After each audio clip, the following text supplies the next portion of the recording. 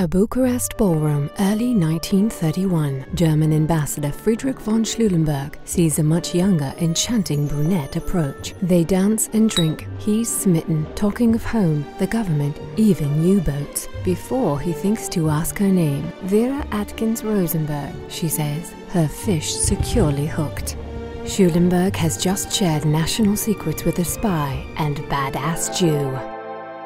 Born to wealthy Ashkenazi parents in Romania, Vera's father knows the pain of Jewish history and prepares Vera, training her in firearms and horseback riding. She even attends charm school to blend in by her early teens, she's already smuggling Jews out of Europe to escape the pogroms. British intelligence recruits her to get close to Schulenburg, among others. By her late 20s, Vera works for a secret intelligence organization taking trips to Berlin, Poland, and other countries, long after it's safe for Jews to travel there. Her intel helps Churchill make his case for war against the Third Reich. In 1939, she is the only woman who helps find the Enigma machine, without which Alan Turing could not not have cracked Germany's secret codes. Later, she trains agents to drop behind enemy lines in France harass German forces, and sabotage equipment and supply lines. There's even evidence she was involved in Operation Anthropoid, the mission to assassinate Uber-Nazi Reinhard Heydrich, and author of The Final Solution.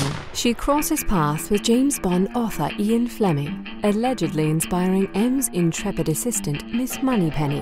After World War II, she travels Europe tracing her lost agents and sniffing out Nazi war criminals, going on to render Cold War services that remain under seal. Eventually, Vera is honoured by Queen Elizabeth and appointed Most Excellent Order of the British Empire, awarded the Croix de Guerre, and made a Knight of the Legion of Honour by the French government in 1995. Though she never achieved a high rank due to her gender, there's no doubt that Vera Rosenberg, who passed away in 2000 at the age of 90, was one seriously badass Jew.